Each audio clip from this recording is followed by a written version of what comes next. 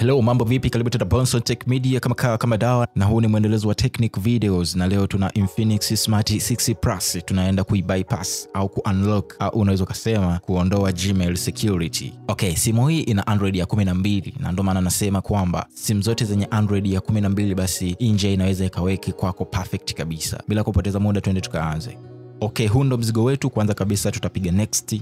Kwenye kuweka line utapiga skip. Tutaenda kwenye upande wa kuconnect wifi. Kama kawaida, hakikisha una strong wifi. Kwa simu zote zenye Android ya 12 inje ina work perfect kabisa. Kwa hiyo jaribu kwenye simu yoyote yenye Android ya 12 na inje itakuwezesha kabisa kubypass simu yako. Baada ya kuconnect, automatic itatuleta kwenye operating instructions. Utapiga next. Kwenye terms of use utashuka chini, utacheki hicho kibox, kisha utapiga next. Yes, getting your phone ready. Tutaisubiri kama sekunde mbili. Utapiga down copy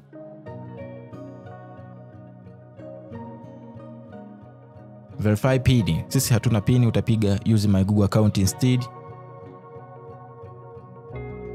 Verify your account. Yes, kama unavyoona ukipiga next utaona inakwambia weka email, na sisi email hatuna. Ukiangalia juu ya simu yako utaona kiloki hicho cha kikufuli, inaonyesha simu yetu ina email security. Kwa hiyo itabidi turudi sasa hadi kwenye ule upande tulio connect wifi. Utagusa hiyo sehemu ya add network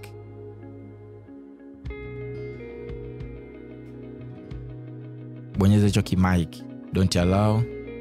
Kuna njia huwa ni ya kutouch mic, lakini kwenye hii simu inaonekana hiyo njia haifanyi kazi. Kwa tutarudi tena hadi upande huu wa wifi, utabonyeza hiyo sehemu ya la code, kisha utagonga nearby device, utagusa turn on, alafu chini utaona sehemu inasema need help sharing. Gusa hiyo sehemu itarudi kwa muda kama sekunde mbili.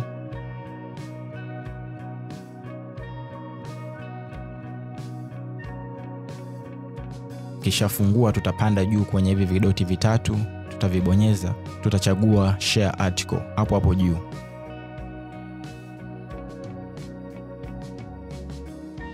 Utaibonyeza hiyo Gmail bila kuachia, kisha automatic itakuleta hapa kwenye upande wa Gmail.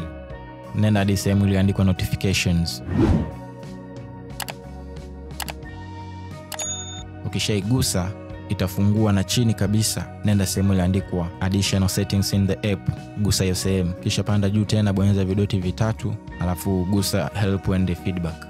Hapo kwenye sehemu ya kusearch andika neno delete au disable, moja kati ya hayo mawili, au unaweza ukaandika herufi ya kwanza tu ambayo ni D na machaguo yakaja.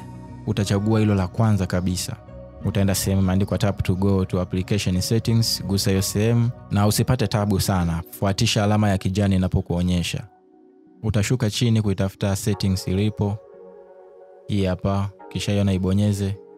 Samahani sana kwa usumbufu, lakini nitaomba ufuate alama za kijani na sio alama nyekundu. Ukishaifungua shuka chini, enda sehemu iliandikwa open, bonyeza hiyo sehemu. Tutaenda kufungua sehemu iliandikwa special function na kisha tutaenda kuwezesha accessibility menu shortcut. Special function hii hapa, utaigusa. Ikishafungua utaona sehemu ya accessibility, gusa hiyo sehemu moja kwa moja. Hapa juu utaona accessibility menu. Ukigusa hiyo sehemu utashuka chini sehemu hiyo ya kuruhusu au kuwezesha accessibility menu shortcut, utapiga allow, kisha utaona hiki kitufe cha kijani, na hii ndo accessibility menu shortcut yenyewe tuliokuwa tunaitafuta. Ukiigusa zitakuja hizi shortcut. Okay, baada ya hapo tutarudi nyuma kabisa hadi kwenye ule upande wa app list. Achana napo hapo kwenye settings. Okay, hapa ndipo tulikuwa tunapatafuta sisi. Panda juu hadi kwenye sehemu ya vidoti vitatu. Ukishavibonyeza vitakuletea machaguo na chagua show system, na ikishakuletea machaguo tafuta sehemu iliandikwa Android setup.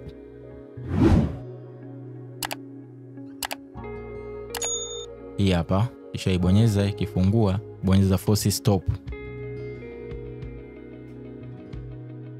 alafu utarudi tena nyuma hatua moja, kisha tafuta sehemu iliyoandikwa carrier services.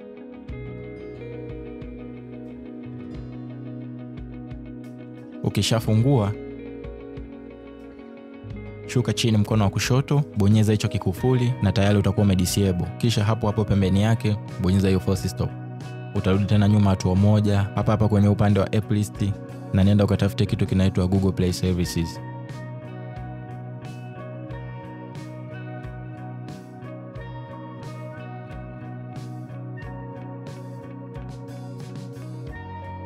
Hii hapa, kisha ibonyeza ikifungua chini upande wa kushoto, bonyeza hicho kikufuli tena, uta disable app. Hapo hapo pembeni yake bonyeza force stop, piga okay kisha rudi nyuma tena kwenye ule upande tulio connect wifi.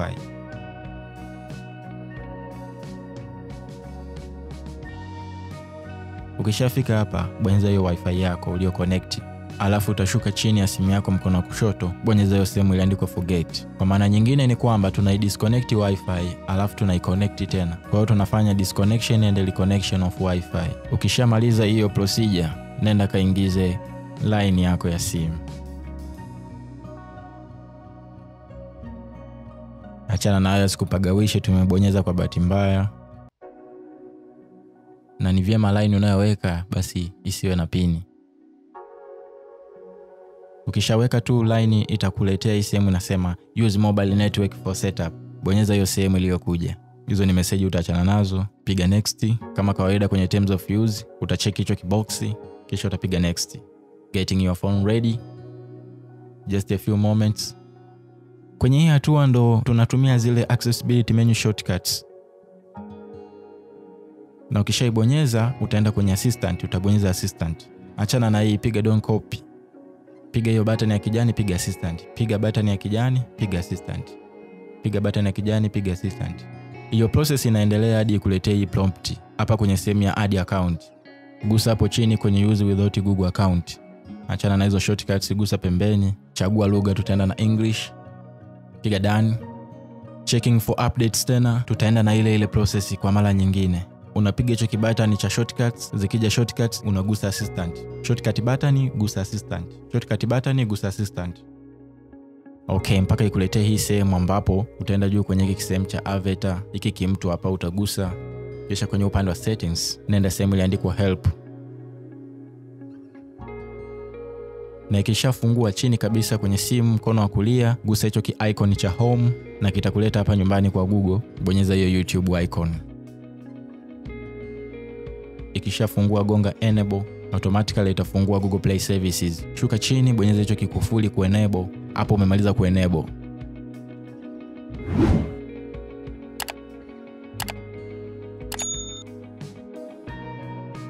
Tutarudi tena hadi kwenye sehemu ya checking for updates, tutaiacha ilodi kwa muda, kisha itafungua. Hapo mambo yako supa kabisa kama unavyoona. Tutatoa laini yetu, tutagonga mo accept Okay, tutagonga tena mo accept, tutaendelea hivyo hivyo hadi imalize. Naona kama hapa inaendeleza ile ile process. Kwa cha kufanya, hebu turudishe tena hii laini ndani, alafu tupige tena more accept, tuone yeah, getting your phone ready. Yes, kwa hiyo utaskip hapo. Okay, utacheki hicho kiboksi, utaskip piga next, getting your phone ready. XOS launcher ina lodi tutaisubiri imalize.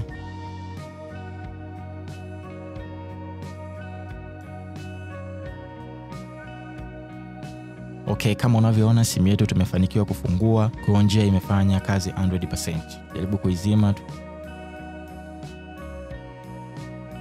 kiwasha utaona hata kile kiloki kilichokuwepo juu kimeondoka. Kwa hiyo hii njia imetuwezesha kubypass simu yetu 100%. Hadi kufikia hapo, mimi sina la ziada. Kama hii video imekusaidia kwa namna yoyote ile, basi usiache kulike, kusubscribe na comment kwenye video hii. Hadi wakati mwingine, stay safe.